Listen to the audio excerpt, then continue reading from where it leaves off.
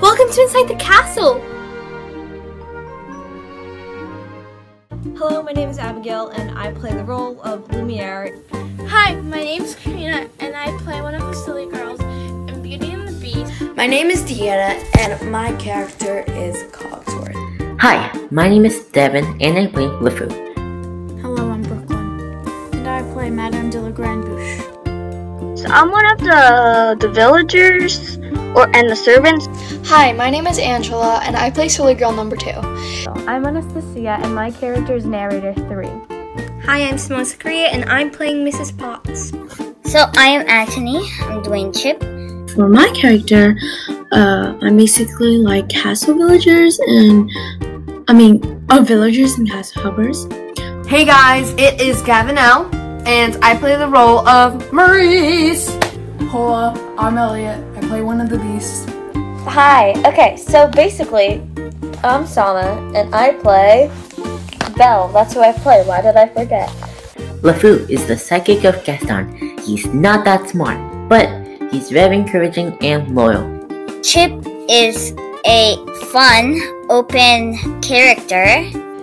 He's a very charming and enthusiastic character, and Lumiere's main goal throughout the entire show is to break the curse and turn back into a human. So, Maurice is this awesome father and inventor. It's very cool because you get to like have different voices. So, I love reading. Reading is like my passion. It's amazing. I love reading. Reading is amazing. You guys should read sometimes. Silly Girl number two is Boy Crazy, and specifically is crazy for Gaston, along with the other silly girls. All find this love for Gaston, while Gaston likes the attention they're giving him, but doesn't really love them. I spend most of my time reading. Um, he's annoying and like rude and a jerk. I, I understand why he is because he's a beast who's been in prison for thousands of years in his castle. Cogsworth is very serious because anytime something like bad is about to happen, he'd take it very seriously. He wouldn't like play games. He doesn't play games with anybody. He just does what he's supposed to do and he's responsible for what he does.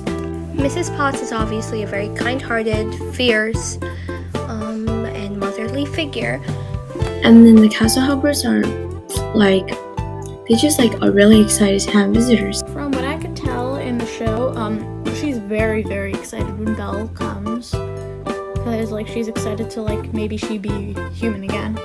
He's he's a little beastie boy, you know? He's just chilling, vibing, hoping for uh true love.